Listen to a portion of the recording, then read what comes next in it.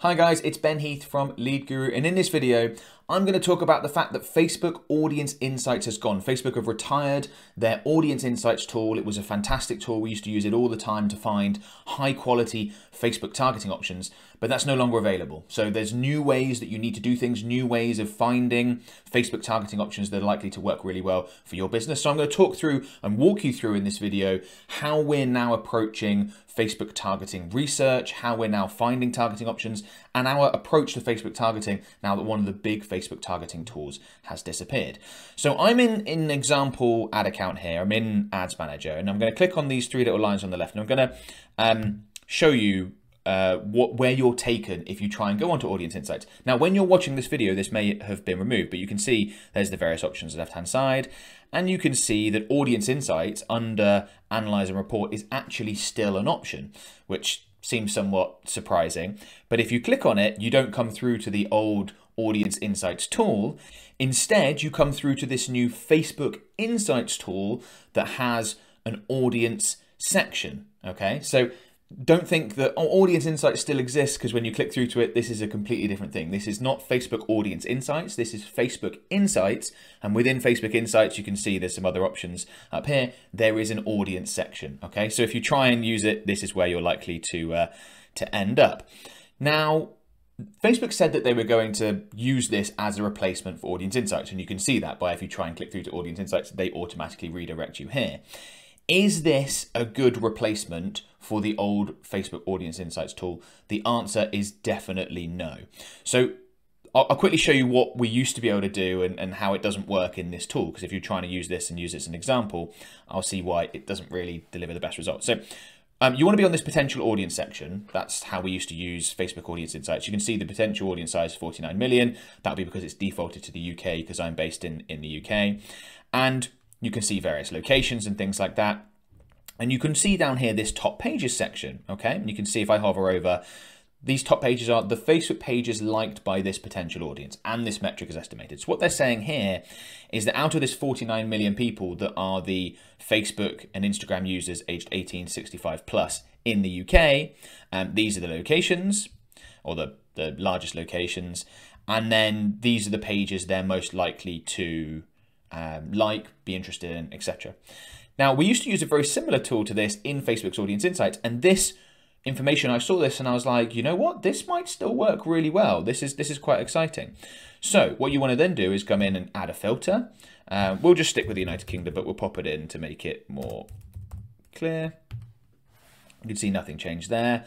Um, and then let's say we are, you know, say I'm advertising my business, right? Roughly our age range, let me get rid of that, is most likely to be 25 plus to say around 55. We often leave it open, but either way. We're going to be male and female. And then let's say we wanted to add in an interest like social media marketing. Okay. And you're thinking, fantastic, this works so far, just like Facebook Audience Insights used to do. Um, and then if we scroll down, you will see that the top pages have barely changed. They are not highly relevant to our target audience. And that's what we used to do. We used to pop an interest into here, into social media marketing. You can see it has affected the audience size. We've gone out to 2.7 million, so it has affected the data. Um, and that would then produce a, a, list of a lot of Facebook pages, a lot of interest options that are highly relevant that had what they called a high affinity score. So if someone liked, was interested in social media marketing, they were 500 times more likely to like a certain page. And that's where you got your targeting ideas from and targeting options from. But if we look down here, you will see that these are not related to social media marketing.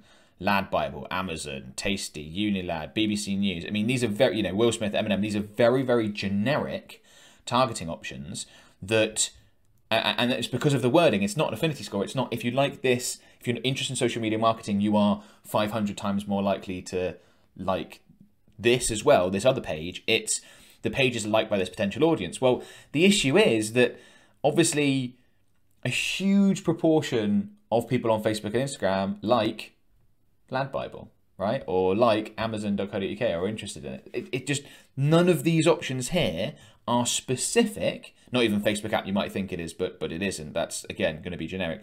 None of this information here is specific to people that are interested in social media marketing.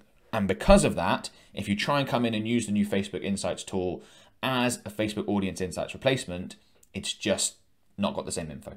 Okay, so if that's not how we're going to find great Facebook targeting options um, in a non-Facebook Audience Insights world, which we're now in, how are we going to go about doing it? So what we're going to do is we're going to jump back into um, Ads Manager. And believe it or not, we are going to use Facebook's Ads Manager as our place to find targeting options that we can use and that should, at least some of them, deliver great results for our business. And that might sound a little bit basic, but I'm going to talk you through it now as to why we do it that way and what we're really looking to do um, as our end objective, because it's a little bit different, okay? So um, I'm just going to quickly create an example campaign, just to very quickly show you this. Let's go with conversions, because basically always doing that. Create a quick campaign, and then we're going to jump to the ad set level. And then what we're going to do, very simply, is see what Facebook will provide um, in the detailed targeting section. So come down here into detailed targeting, and we're going to start searching for things that are related to our business. Okay, start searching for things that you know are highly relevant. Okay, so I play six-side football, soccer. For those of you not you know in the UK, um, really enjoy it, right? And I'm going to use that sort of industry as an example here for how you would go about finding great Facebook targeting options. So let's say I was in that industry. Let's say I sold um, socks or boots or balls themselves or training equipment or um, kit, you know, like uh, apparel, jerseys and things like that, right? Um, let's say I was in that base. So what first thing I do, come in here, I pop in soccer, okay? And you can see we're starting to generate loads of various options. You know, we've got Major League Soccer because soccer's like more the American word. Um, so we've got Major League Soccer as an interest. Um, indoor soccer, oh, what I play six sides, which is indoor. Fantastic. That could be a great targeting option. Um, Soccer AM, that's like a TV show all about all about football, um, beach soccer, all sorts of. Look at all these are all these options that you're coming up with. Okay, you would want to go and make a note of all these options, all the options that come up that you think are relevant. To some extent, here you're going to have to use your instinct and your knowledge of the industry to go. You know, okay, I'm selling beach soccer. No, I'm selling boots. People playing bare feet on the beach. Right, that's not a good one. But indoor soccer, okay, I sell boots that are specifically, you know, they're like AstroTurf type boots. They're specifically designed for indoor playing. Fantastic. That would be a great option. Um, all that sort of stuff. So you make a list and then you go through with some of the other terms that it might be talked about. Um, you know, you could football. You've got football association. You've got obviously with football, you need to be careful with the American versus English version, but it depends where you're where you're advertising. Of course, you could have in here football boots. You know, football boot is an interest. You could have uh, football ball. I imagine is going to come up with something. Yeah, football ball, um, football team, football player. You could go with again soccer ball see what comes up. Association Football Soccer. And you can see that if you just search around the terms, um, let's go with some other stuff, see what comes up. And some of the things you pop in aren't going to come up with anything. So shin pads are something you wear to play football or soccer most of the time. That's not come up as an option. Absolutely fine. Um, so you can see you could have, for example, maybe soccer gloves. No, that's not going to come in. That's what a goalkeeper would, would use. Football gloves? No. And this is the process. What I'm, this might sound a little bit messy and not polished like I'd like to create most of my videos, but that's because this process is a little bit messy and it is more natural and not quite as polished as, as usual. But this is what we're going through. And what you're looking to do is search, you might search for 10 to 20 terms in and around your industry and whatever it is that you sell. And then you may take some of the ones that you find. So we found indoor soccer, right? Okay, so we've got um, indoor soccer. You've got soccer fans, people who are really engaged with that sort of content. You know, look at the description on soccer fans, right? Interacted with content related to football, US soccer, five or more times over the last 90 days. Okay, maybe that's a great audience. People who play the game and buy products, probably also follow the professional game and are interested in stuff like that. Okay, that could be a great option. So you go through 10 to 20 different terms, you're going to compile a list, I would say, of at least 10 quality targeting options that you can sort of intuitively say, oh yeah, that's that's good for our audience. That's pretty representative. And there's going to be all sorts of ones you didn't expect to come up and all sorts of things like that. That is the process we go through initially. There's more added to it in a minute. Next thing you want to do is check the size of these audiences. And all I'm doing at this point is discounting ones with tiny audiences that we're just, okay, it's too small. Not going to bother with that. I'm not really worried if something's too big, the upper end. So if you look at soccer fans high engagement and we've got 70 million, 71 million, remember this is worldwide, okay? So if I was to pop this in for just the UK, uh, and we have got just the UK selected, uh, if I remove detailed targeting, we can see what the audience size is. It's 2.2 million. Lovely audience size for the UK. That's absolutely fantastic. Remember, that's just 2.2 million in the UK, 71 million worldwide. But if, and we may not come up with any options because, of course, football, soccer is such a hugely followed thing. I'm trying to find something now that's actually this might be an interesting. If I put in Major League Soccer in the UK, oh, still 1.1 million. Okay, that's still much larger than I was expecting. But what I'm saying is, with a lot of industries, you will do this and you will find some that are just too small. That just aren't going to work. See if we can find a small one. There we go, Soccer Mum not necessarily what you target. Anyway, okay, perfect example. That comes out at 59,000. Way too small. That's not something I want to target to the whole of the UK. I'm looking for 250,000 minimum, maybe half a million minimum, something along those lines. I've got another video about ideal Facebook audience size, so I'll include a link uh, in the video description below. But this is the, the sort of thing we're doing, this is sort of process, okay?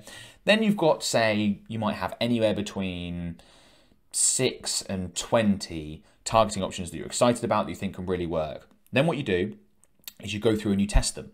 So you you create one ad set for each interest, behavior, whatever you come up with here, targeting option, one in each. If you put them all into one ad set or multiple into one ad set, the big issue with that is that you get a blended average. You don't see, let's say you've got four in here, you won't know which one of the four produces the best results, which one of the four produces the worst results, because they're all lumped in together. So the results are a blended average, right? If you separate out each interest or each uh, behavioral targeting option into its own ad set, you can then look at that data in a few weeks' time or a few days' time, depending on how much you're spending, and go, okay, out of these, you know, 12 that we've tested, three perform really well. So let's just target those three. Let's get rid of the others. Super, super valuable information to have. The testing process is how you do this. Now, you don't want to test too many all at once. I would test a maximum of five ad sets at any one time.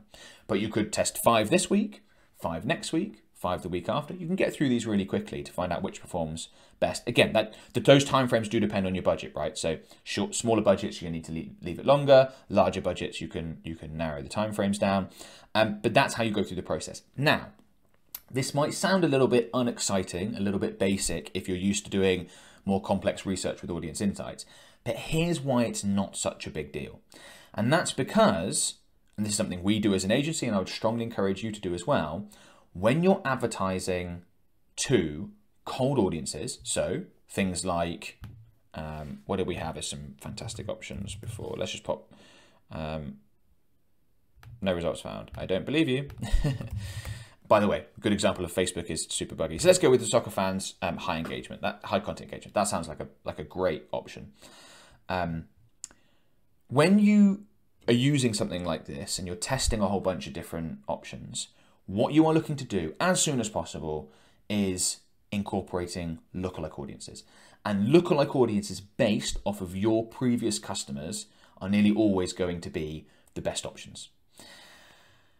If you're not familiar with lookalike audiences, I'll include a link um, in the video description below to a really detailed tutorial all about, it's like the ultimate Facebook lookalike audience tutorial. Shows you how to create them all, shows you which ones deliver the best results, all that sort of stuff. But the best results are almost certainly going to be seen from lookalike audiences. And once you've got, say, 200 purchases in your account or 200 leads generated, whatever it is that you're optimizing for, switching over to a lookalike audience based off of those people that have taken that action is almost certainly going to produce better results than basically any interest, behavior, or demographic targeting option you can find. So without audience insights, you might find it a little bit harder to find high quality targeting options, which might make your results slightly worse pre-lookalike audience phase. But depending on how much you're spending, how many conversions you generate, that might be a very short period of time, and then you're going to primarily be operating off lookalike audiences. You don't need to always operate off lookalike audiences once you have the 100 plus customers or 100 plus leads or whatever it is that you can base a lookalike audience off. You may still uh, run some interest targeting options if they perform really well, but don't think that this is the only, getting this right, this detailed targeting section right, is the only way to Facebook advertising success.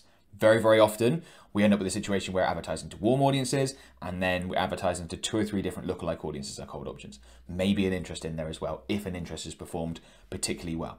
But we're not reliant on it by any means on this section here. It's more of a getting things going in the beginning so that we can then use the best data possible to produce the best possible results.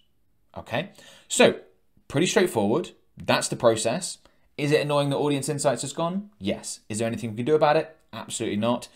The Facebook Insights tool, the new one, is not fit for purpose. This is the best way to do it.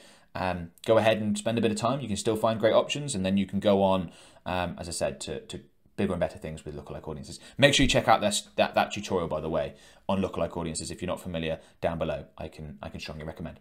Okay, hopefully that's been useful. Before you go, a couple of things I want to mention. The first is our Facebook advertising services. So my company, Lead Guru, is a specialist Facebook and Instagram advertising agency. We create, manage, and optimize campaigns for our clients um, in all sorts of different industries. And if you want better results, if you don't want to be finding your own targeting options, or if you're thinking, you know, I'm sure we could get better results from our Facebook and Instagram ads, we can almost certainly help you achieve that. So um, what you can do is there'll be another link in the video description below where you can click through to our website, book a free call with one of my team members. No obligation. We can just find out more about your business. You can find out more about how we work. Um, and yeah, we can explore potentially working together. We do require that people have at least a 3K budget or about to have a 3K minimum budget per month um, for them to be able to work with us. We just can't really work with companies with less than that. But if you do meet that criteria, go ahead and book a call and, and you know, maybe we'll be, uh, we'll be working together. If you enjoyed this video, please give it a thumbs up. Uh, comment below. I get to most of the comments on my channel. Um, spend a lot of time doing that, so I will do my best to to answer questions um, I can't guarantee it, obviously. Sometimes there's too many, but but if I can, I will. Um, subscribe if you haven't already. And uh, yeah, best of luck with your Facebook ad campaigns, guys. And I'll talk to you soon. Bye for now.